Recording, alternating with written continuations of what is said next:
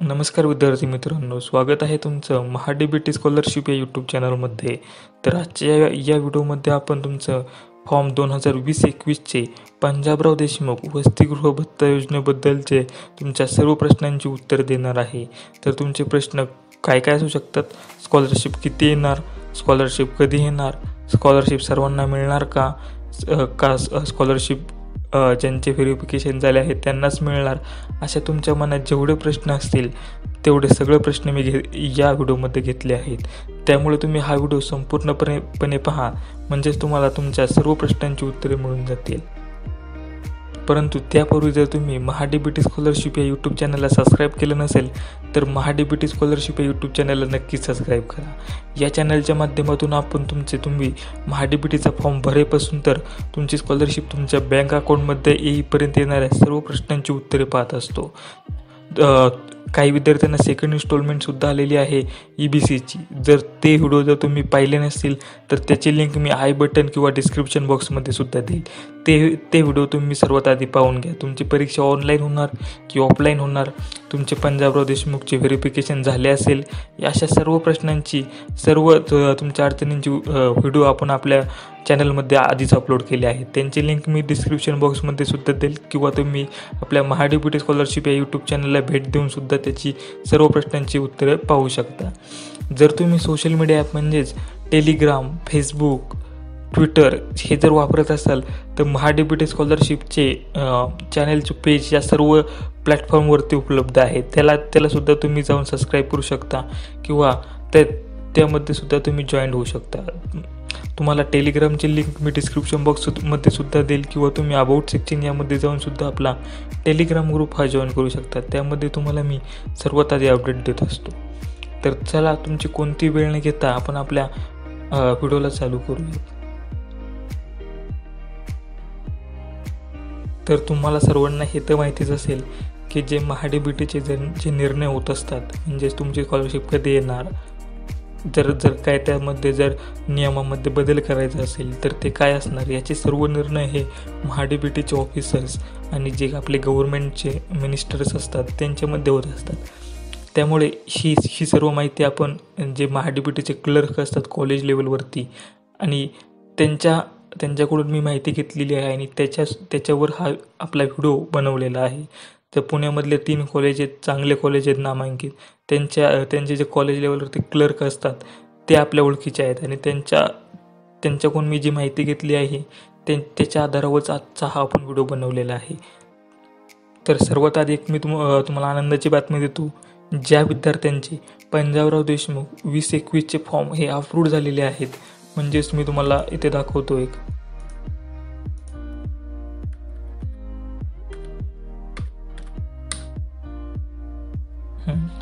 ज्या विद्यार्थ्यांचे जाऊन माय तुम्ही आपला फॉर्म माय अप्लाइड स्कीममध्ये जाऊन चेक करायचा आहे आणि अप्रूव्ड ॲप्लिकेशनमध्ये जेव्हा तुम्ही चेक करता तेव्हा जर तुमचा फॉर्म हे अप्रूव्ड ॲप्लिकेशनमध्ये आला असेल म्हणजेच अंडर रिड्यू असेल अंड अवेटिंग अप्रुव्हल असेल आता या स्टुडंटला फ फर्स्ट इन्स्टॉलमेंट ही पंजाबरावची आली आहे.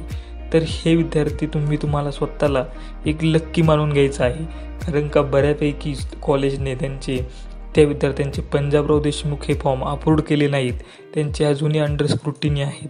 जर तुमचा अप्रूव्ड अप्रूव्ड ॲप्लिकेशनमध्ये असेल तर ते विद्यार्थ्यांनी स्वतःला लक्की माना. कारण का यावर्षी खूप विद्यार्थ्यांचे मी तुम्हाला लॉग इन करून दाखवणार आहे. माझ्याकडे खूप लॉग इन आहेत.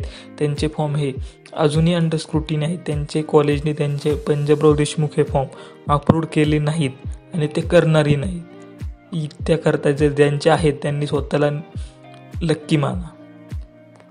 ते ते फॉर्मसुद्धा तुम्हाला दाखवतो की त्या विद्यार्थ्यांचे फॉर्म हे त्यांच्या कॉलेज लेवलनी अप्रूव्ड केलेले नाहीत. तर चला मी एक एका विद्यार्थ्याचे तुम्हाला लॉग इन करून दाखवतो. हे बघा जेव्हा तुम्ही माय अप्लाइड स्कीम या म याच्यामध्ये जाता तेव्हा तुम्ही पाहू शकता की डॉक्टर पंजाबराव देशमुख वसतिगृह निर्वाह भत्ता योजनाचे हे फॉर्म त्यांचे अंडर स्क्रुटिनी आहेत अजूनसुद्धा आणि त्यांचे कॉलेज हे त्यांचे फॉर्म अप्रूव्ड करणारसुद्धा नाही आहेत. मी त्यांच्या कॉलेज कॉलेज कॉलेजमध्ये सुद्धा बोललो आहेत. ते म्हणले आहेत की या यावर्षी आम्ही हे फॉर्म अप्रूव्ड करणार नाही आहेत. कारण का त्यां ते विद्यार्थी राहिलेलेच नाही आहेत. आणि तुम्हालाही माहिती आहेत ज्यांचेसुद्धा फॉर्म अप्रूव्ह झालेले आहेत ते विद्यार्थीसुद्धा एक महिन्याच्या वरती तर कॉलेजमध्ये राहिलेले नसतील. तर चला आपण पहिला प्रश्न घेऊयात की ज्या विद्यार्थ्यांचे जर व्हेरिफिकेशन झाले आहे तर त्या विद्यार्थ्यांना स्कॉलरशिप मिळणार आहे का? री जर तुम्ही रिव्हेरिफिकेशनचा जर व्हिडिओ पाहिला नसेल त्याची लिंक मी डिस्क्रिप्शन बॉक्समध्ये टाकली आहे. ज्या विद्यार्थ्यांना अजून माहिती नाही रिव्हेरिफिकेशन म्हणजे काय आहे त्यांनी तो व्हिडिओ आधी जाऊन पाहून घ्यावा. जर ज्या विद्यार्थ्यांचे व्हेरिफिकेशन झालेले आहे त्या विद्यार्थ्यांना स्कॉलरशिप येण्याचे चान्सेस हे ऐंशी ते नव्वद टक्के आहेत. ऐंशी टक्के चान्स तुम्ही धरून चाल. की ज्यांचे व्हेरिफिकेशन झाले आहे त्यांनी जे कॉलेजमध्ये डॉक्युमेंट जाऊन सबमिट केले आहेत किंवा ज्यांनी त्यां ज्या विद्यार्थ्यांनी त्यांचे प्रतिज्ञापत्र कॉलेजमध्ये जाऊन सबमिट केले आहे अशा विद्यार्थ्यांना स्कॉलरशिप येण्याचे चान्सेस हे ऐंशी टक्के आहेत. तर आता ते वीस टक्के विद्यार्थी कोणते राहू शकतात? तर त्या ज्या विद्यार्थ्यांचे व्हेरिफिकेशन झाले नाही आहे त्या त्या विद्यार्थ्यांचे हे ते विद्यार्थी हे वीस टक्क्यामध्ये येतात. की त्यांना अजून त्यांच्या कॉलेजने काहीच सांगितले नाही आहे. तर त्या त्या विद्यार्थ्यांचे हे सर्वस्वी निर्णय हा शासनाचा असेल. जर शासनाला वाटले की स्कॉलरशिप यांना द्यावी तर त्या विद्यार्थ्यांना स्कॉलरशिप येऊ शकते. पण त्या विद्यार्थ्यांना स्कॉलरशिप येण्याची गॅरंटी ही पन्नास पन्नास टक्के आहे. म्हणजे साठ साठ चाळीस टक्के तुम्ही धरून चाला की चा साठ टक्के तुम्हाला स्कॉलरशिप येण्याचे चान्सेस नाही आहेत. त्या त्या त्या विद्यार्थ्यांचे काय होऊ शकते? तर त्या विद्यार्थ्यांना त्यांचे हे फॉर्म असेच पेंडिंग राहू शकतात की जसे फॉर्म दोन हजार एकोणीसचे हे पंजाबराव देशमुखचे फॉर्म अजूनही पेंडिंग आहेत. खूप विद्यार्थ्यांचे पेंडिंग आहेत.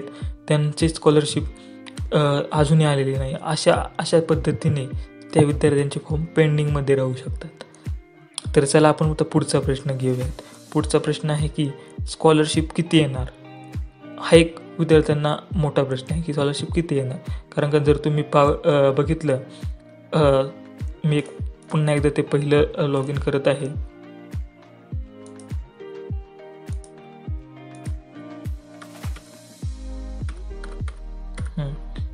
हां या या ठिकाणी मी लॉग लॉग इन माय प्लॅट स्कीममध्ये जर तुम्ही गेला आणि जर चेक चेक रिडीम स्टेटस केले तर तुम्हाला इथे पंधरा हजार पंधरा हजार असे दिसत असेल तर आता विद्यार्थ्यांना प्रश्न पडला आहे की स्कॉलरशिप किती येणार? तर याचे एक उत्तर आहे की मी तीन कॉलेजमध्ये डिस्कस केलं आहे हे हे तुम्हाला मी आधीच सांगितलं आहे. त्या कॉलेजची नाव नावसुद्धा मी सांगितले असते पण त्यां त्यांनी प्रायव्हसीसाठी नाव नाही सांगाय असं सांगायचे असे कबूल केले आहे मी. तर त्यांनी सांगितलं की जे तुम्ही प्रतिज्ञापत्रावरती लिहून दिलेले आहे की तुम्ही किती महिने राहिला काही काही विद्यार्थी दोन महिने राहिलेत काही काही तीन तीन महिने राहिलेत की तर त्याच्यानुसार तुम्हाला स्कॉलरशिप येणार आहे. जर जर विद्यार्थ्यांनी जर टाकलं असेल की ते पूर्ण दहा महिने राहिले तर त्यांना स्कॉलरशिप पूर्ण येण्याचे सुद्धा चान्सेस आहेत. ते म्हणले ज्यांनी जसं टाकलं आहे प्रतिज्ञापत्रामध्ये त्यानुसार त्यांना स्कॉलरशिप येण्याचे चान्सेस हे जास्त आहेत. आणि जर जर शासनाला वाटले सुद्धा तर ते तुम्हाला पू पूर्णसुद्धा देऊ शकतात. म्हणजे इथं बघा ह्या विद्यार्थ्याला पंधरा हजार रुपये आले आहेत. आणि सेकंड इन्स्टॉलमेंटसुद्धा पंधरा हजार येऊ शकते. जर विद्यार्थ्यांनी पूर्ण जर टाकले असेल की आम्ही पूर्ण राहिलो आहे तर तर त्या त्या विद्यार्थ्यांना पूर्ण स्कॉलरशिप येऊ शकते. तर अजून एक पुढचा प्रश्न आहे की सर्वात मोठा आणि स सर्वां सर्वात जास्त विचारलेला प्रश्न होता की स्कॉलरशिप कधी येणार? आमचे पंजाबराव देशमुखची स्कॉलरशिप कधी येणार?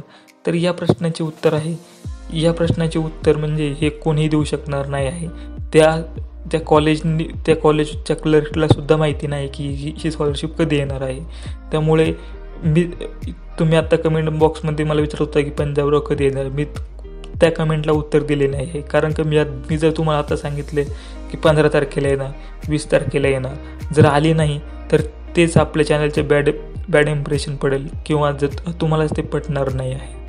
त्याकरता मी पंजाबरावचे सांगितलं आणि त्याच त्या कॉलेजला सुद्धा माहिती नाही आहे किंवा त्या कॉलेज महाडीपीटीच्या क्लर्कला सुद्धा माहिती नाही आहे की स्कॉलरशिप कधी येणार आहे ते.